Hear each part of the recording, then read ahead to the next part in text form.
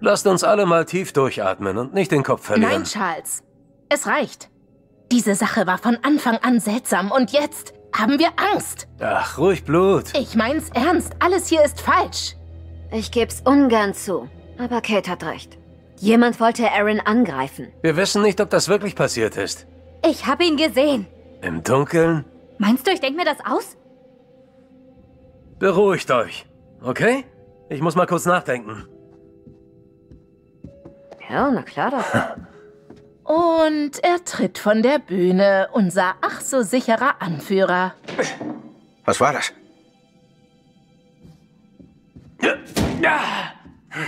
Was tut er da? Warum? Charlie denkt nach und sieht dabei aus wie ein trotziges Kind. Vielleicht hat er recht. Ohne diese Folge sind wir alle erledigt. Machst du Witze? Was? Ich meine doch Seit nur... Jahren warte ich darauf, dass du mal irgendwas entscheidest. Irgendwas.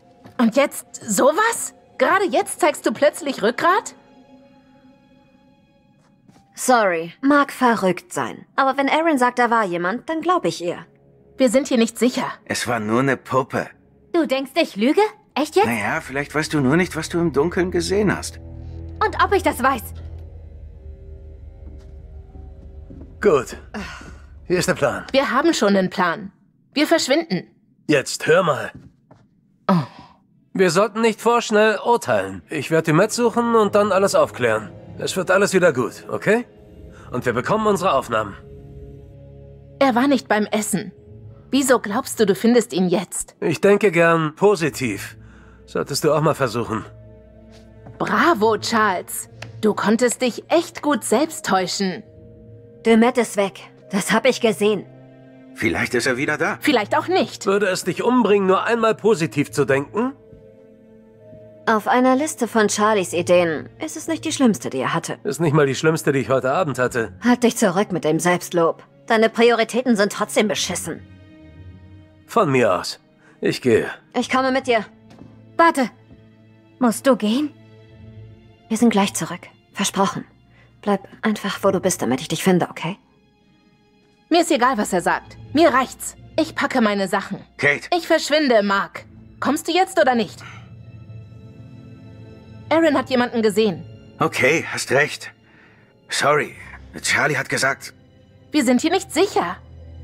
Das ist wichtiger als ein scheiß Job. Hast recht. Gehen wir, Aaron. Alles wird wieder gut. Warte hier. Kannst du nicht hierbleiben, während ich mein Zeug packe? Ich will keine Zeit vergeuden. Ich bin gleich um die Ecke. Machen wir schnell. Wir kommen zurück. Versprochen. Lasst, lasst sie doch nicht alleine da. Nehmt sie doch wenigstens mit. Nein, nicht. Warum? Sorry, ich dreh noch durch. Könntet ihr sie auflassen, damit ihr mich hören könnt? Natürlich. Das glaube ich ja jetzt nicht. Wieso haben sie sie denn nicht mitgenommen? Okay, du Genie. Wo suchen wir zuerst nach Demet? Ich suche nicht nach Dumet. Ich check Einstellungen. Falls er mir dabei über den Weg läuft, super.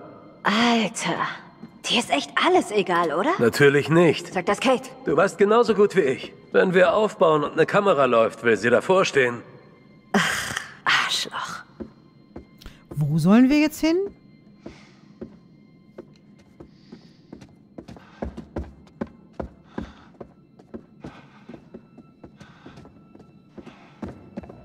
Was eine Truppe wieder.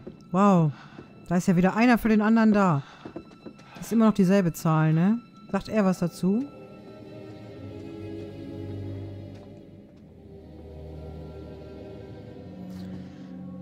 Was ist denn hier? Was ist hier passiert? Ich. Keine Ahnung.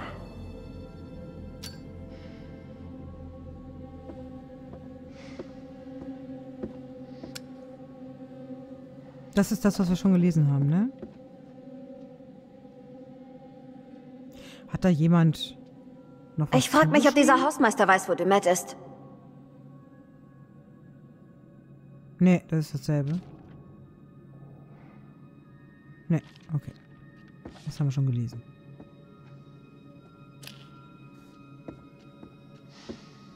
Der Hausmeister vor allem. Der Hausmeister.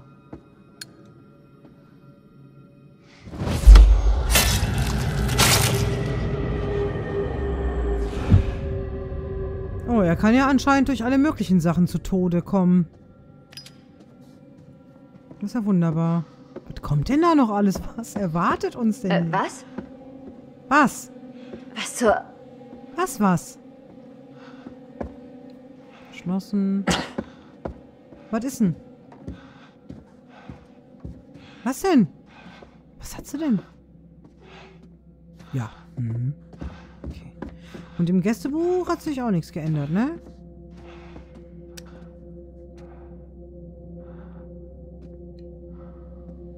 Nö. Nicht, dass ich wüsste. Okay.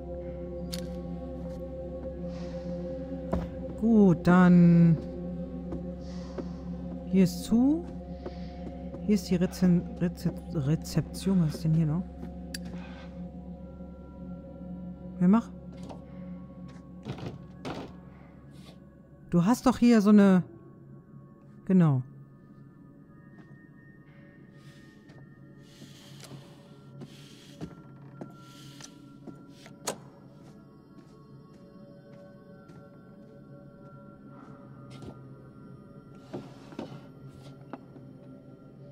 Sieht ziemlich alt aus.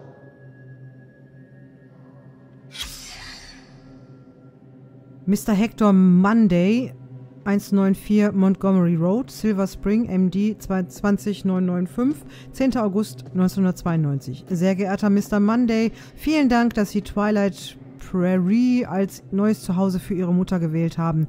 Lucinda lebt sich bereits sehr gut ein. Wir laden Sie ein, Sie möglichst häufig zu besuchen und freuen uns auf ein baldiges Wiedersehen.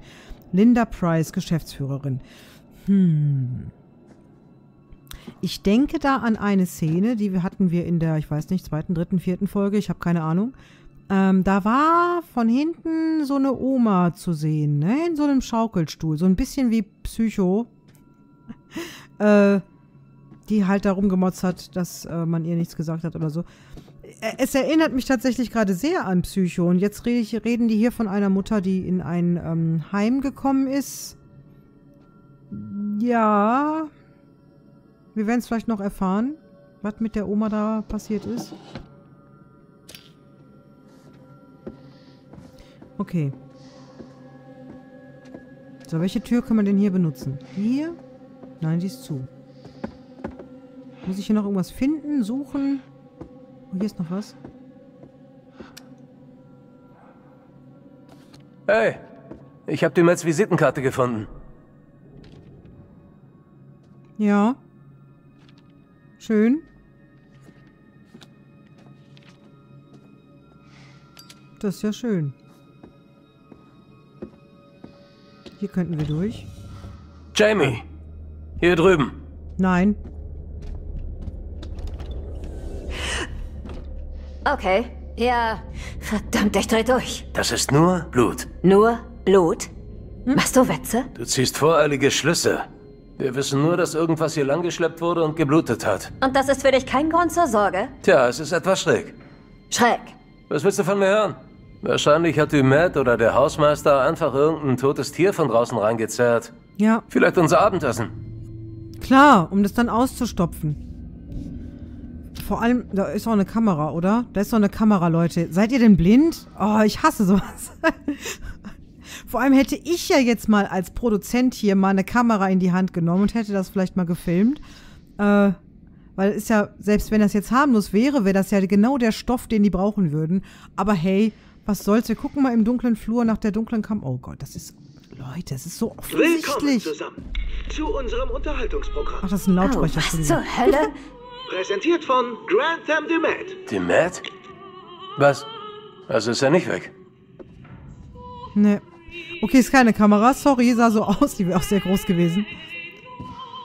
Ja, dann gucken wir uns mal um in der Horrorshow hier.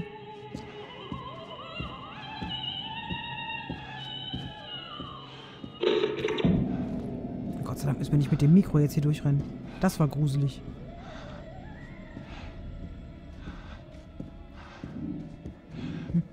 Hm,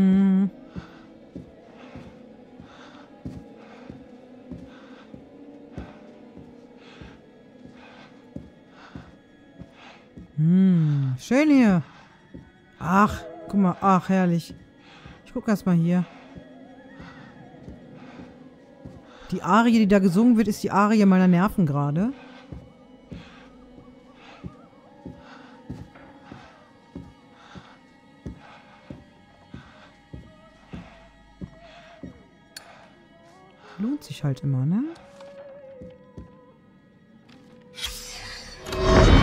Ich lernte Agent Monday am 12. Oktober 1997 am Flughafen O'Hare kennen. Ich hatte den Auftrag, ihn dort abzuholen. Ich war ihm schon bei einem Vortrag über kriminelle Verhaltensmuster begegnet, der einige Wochen zuvor hier in Chicago stattfand, aber sicher hat er sich nicht an mich erinnert. Ich war ziemlich nervös, unerfahren wie ich war. Ich hatte gerade erst meine Ausbildung beendet und jetzt sollte ich für diesen berühmten Profiler den Chauffeur spielen, der gerade den Fall in Arkansas gelöst hatte. Sämtliche Zeitungen waren voll davon. Mein erster Eindruck war, dass er Dass er.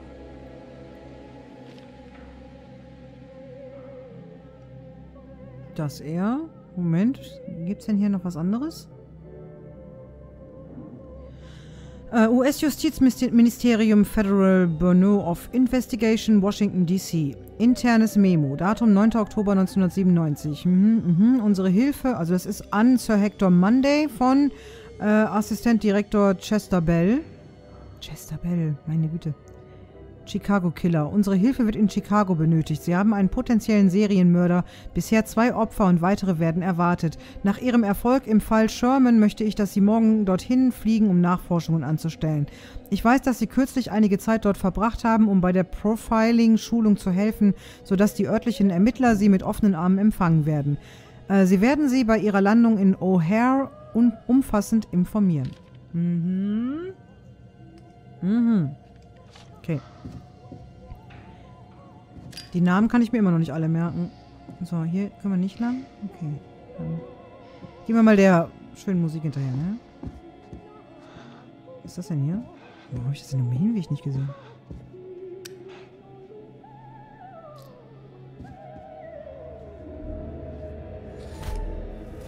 Münzchen.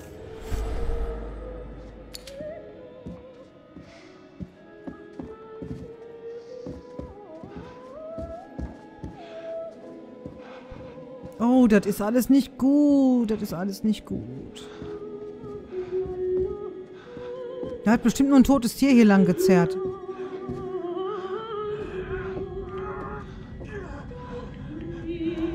Leute, Leute, Leute, was tut ihr?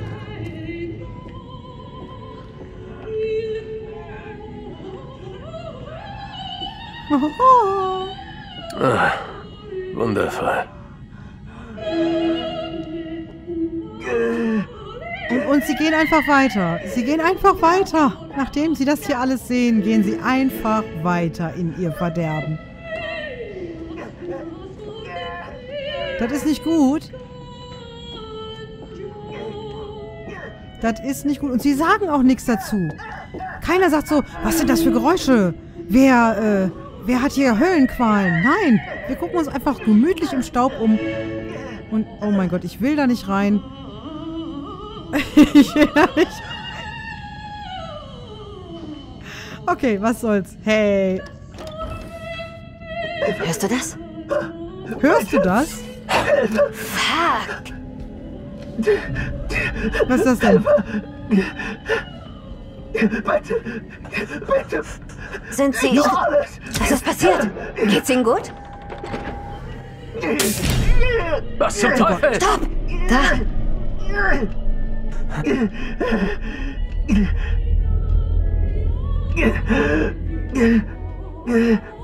Was ist das? Das ist eine Druckfalle. Du verlagerst dein Gewicht von der Platte und der Typ wird von dem Ding aufgespießt. Ich weiß doch nicht, wer das ist. Lass ihn doch.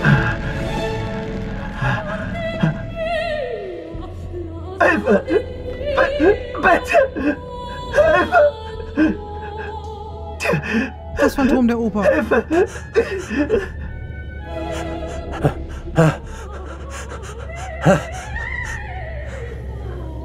Jamie?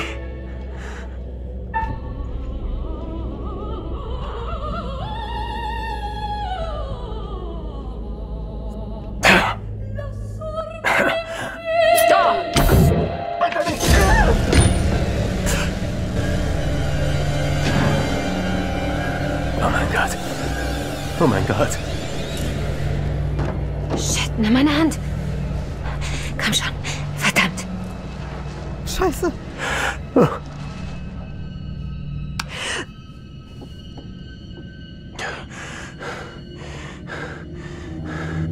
Ruhig. Was habe ich getan? Wir müssen hier weg. Jetzt. Charlie. Weg hier. Ja, weg hier.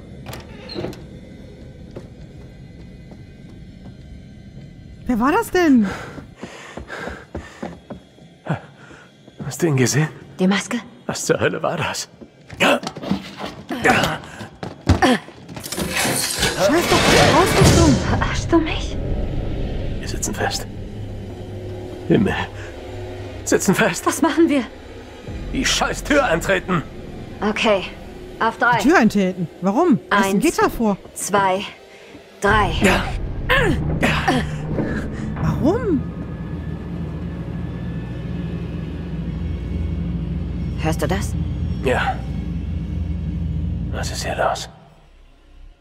Ja, keine Ahnung. Was war das denn?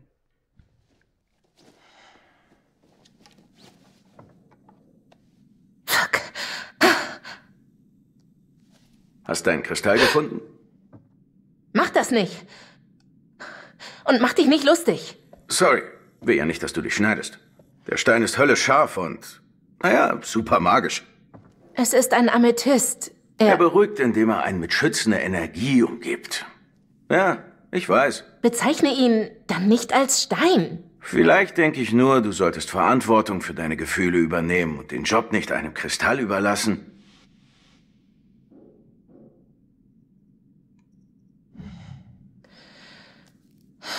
Vielleicht hast du recht. Aber du musst deshalb ja kein Arschloch sein. Okay, vielleicht war die Bemerkung blöd. Tut mir leid. Schon okay. Das ist weder die Zeit noch der Ort. um- Ich muss dir was sagen. Okay. Du hast den Kamerajob erwähnt, den ich abgelehnt habe. Ich habe dir nie die Wahrheit gesagt. Worüber? Es war kein Job, nicht wirklich. Wovon redest du? Kennst du noch meinen Freund Mary? Er hat ein Studio in Brooklyn aufgebaut. Bildende Kunst. Er wollte einen Partner. Das ist dein Traum. Ja. Es gibt keinen Cent zu verdienen, also dachte ich, du würdest zu Recht sagen, es wäre Wahnsinn. Denn das wäre es. Provokant oder verwirrt? Ja. Wieso hast du es nicht gemacht? Und mir nichts gesagt? Die Dinge wurden schon hart für uns. Nein, nein, nein, nein. Gib mir nicht die Schuld daran. Das warst allein du. Ich weiß. Ich habe es abgelehnt, weil es... It would have taken me away from you. Alter, warum? Das ist so blöd. Äh, überrascht, darüber habe ich nicht nachgedacht. Oder hier, ja, hier. Ich. Ich nehme an, daran habe ich nicht gedacht.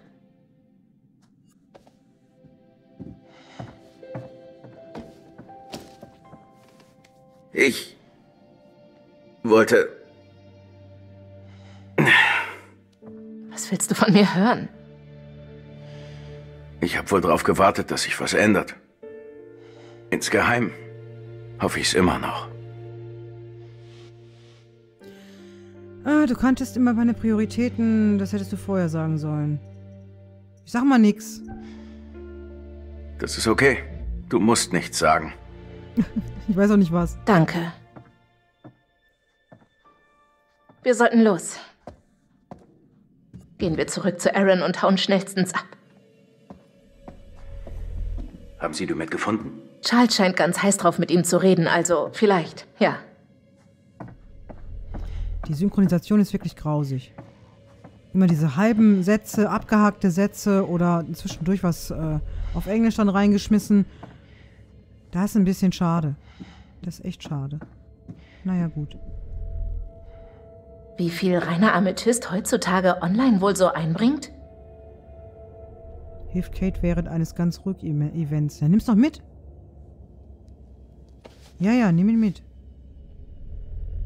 Wir werden wahrscheinlich ein ganz Rück-Event bekommen und können da jede Hilfe gebrauchen. naja, gut.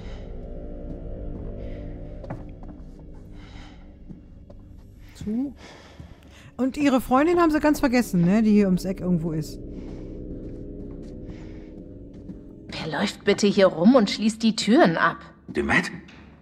Seine kleine Helfer im gelben weg. Mantel? Der im gelben Mantel ist, ja, keine Ahnung. Aber der Dumet ist doch weggefahren. Die glauben sich ja untereinander wieder gar nichts, ne? Hier ist ja alles zu.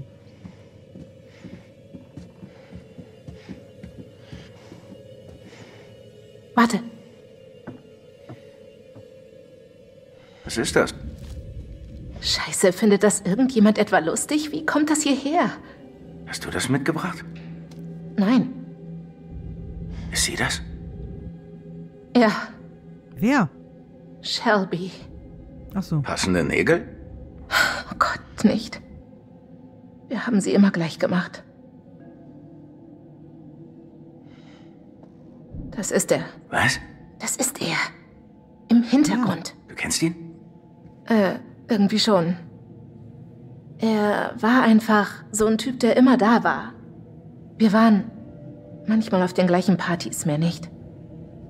Es war meine Schuld. Du weißt, dass das nicht stimmt. Ich sollte sie treffen. In der Nacht, in der es passiert ist. Wir wollten was trinken gehen auf eine Party. Ich hab verpennt.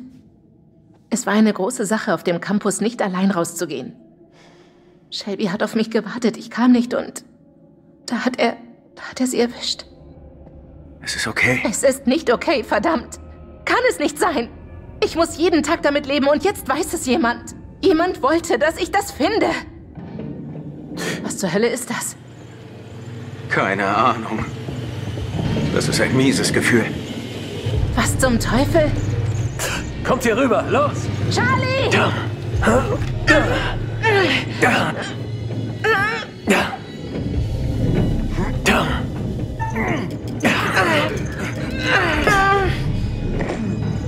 Ich kann sie nicht halten. Hör zu. Ihr müsst verdammt nochmal hier raus, egal wie. Verschwindet von hier. Los! Jamie! Charlie! Was zur Hölle ist passiert? Ich. Keine Ahnung. Aber ich glaube, es ist. Ja, das glaube ich auch. Bewegt sich nicht. Und was jetzt? Wir sind am Arsch. Es, mu es muss einen Weg herumgeben. Ja, Wartungskorridore, Zwischenräume, unbedingt.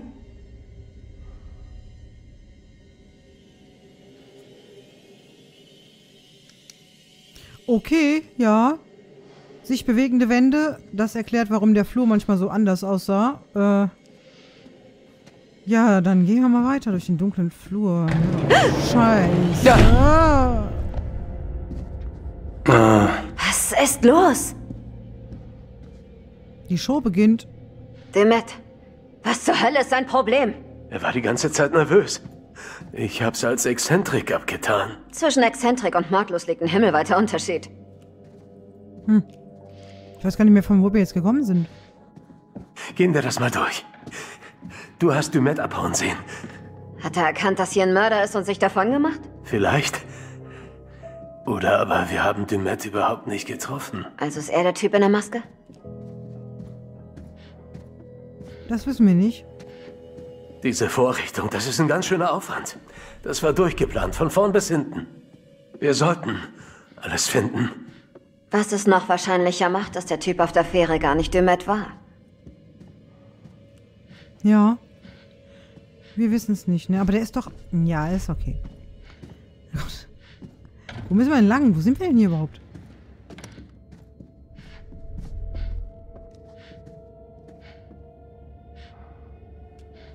Oh weia, oh weia. Das ist nicht gut, ne?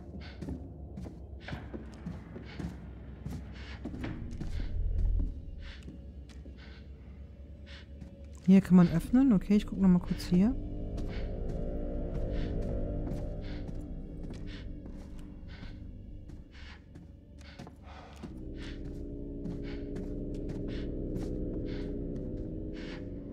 Was hier? Sind wir hier im Kreis gelaufen? Moment, ich gucke noch mal kurz. Ach so, hier, okay.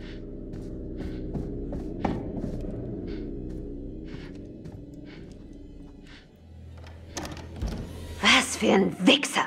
Was? Mauer. Los, weiter. Genau wie Holmes. Ich weiß, ich will nicht drüber nachdenken. Scheiße.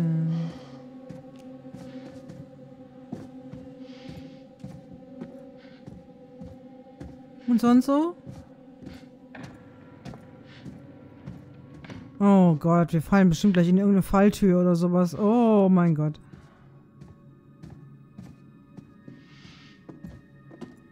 Ich versuche mich zu orientieren. Aber ich glaube, Aarons Zimmer wurde völlig abgeschottet. Scheiße, Charlie. Wieso spielt er mit ihr? Weil sie sich am leichtesten fürchtet. Die Verwundbarste. Kennst du unsere Show? Sowas machen diese Soziopathen. Ja, und weil ihr sie nicht mitgenommen habt. Das ist mein kleines Angstlied, damit mir nichts geschieht.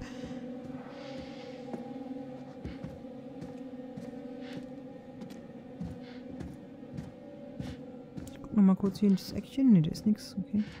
Ja, warum nicht? Oh Gott, gehen wir mal runter, ne? Oh, was zur Hölle? Ist das ein Kind? Ah, gut. Du hast auch eine creepy Kinderstimme? Ich dachte schon, ich wäre verrückt. Wo kommt das her?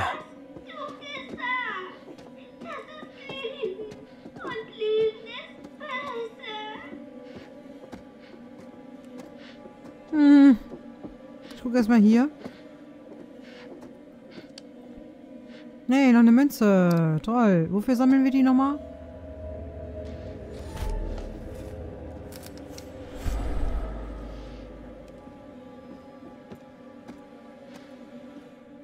Gehen wir mal der gruseligen Kinderstimme auf den Grund, ne? Charlie, komm her.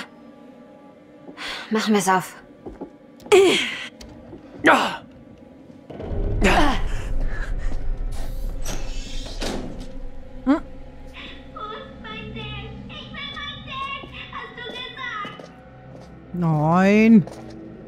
Da geht doch nicht ernsthaft jetzt einer von denen rein.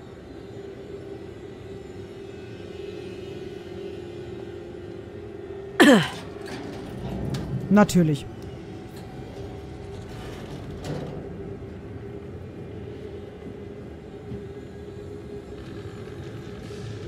Und keiner bleibt an der Tür stehen. Warum? Warum denn? Wir sind in einer verfluchten Matroschka. Was? Eine russische Matroschka. Also, eine Puppe, in einer Puppe, in einer Puppe. Drehst du langsam durch? Das kann ich jetzt nicht gebrauchen. Wir sind hier eingesperrt in der Küche eines Hotels. Gestrandet auf einer Insel. Selbst wenn wir hier rauskommen. Wie kommen wir aus dem Hotel raus? Genau. Oder von der Insel. Vielleicht sollten wir eins nach dem anderen angehen. Zuerst der Raum. Du hast recht, natürlich. Das ist eiskalt. an der Tür stehen bleiben können.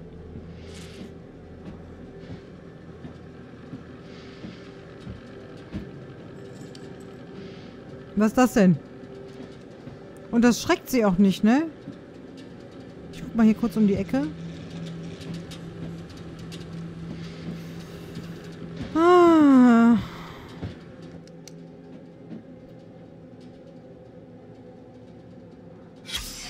Natalie Morello. Oh, bist du...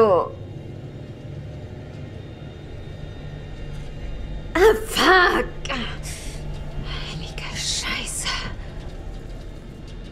Das ist eine verdammte Leiche. Meinst du? Darf ich vorstellen, unsere Vorgänger hier? Das weißt du nicht. Vielleicht. Fuck. Da hast du wohl recht. Könnte sein, ne? Das ist ja wunderbar. Hier, Schweinskopfsülze wird hier hergestellt. Auch schön. Ja, g- gehen wir mal raus. Charlie, die führt vielleicht raus. Vielleicht. Guck. Vielleicht auch in den Die Tod. schwingt raus. Die kriegen wir wahrscheinlich leichter auf. Zurück. Das habe ich nicht erwartet. Ja, Jamie! Was denn jetzt? Oh no. Ja, Oh no. Charlie? Scheiße.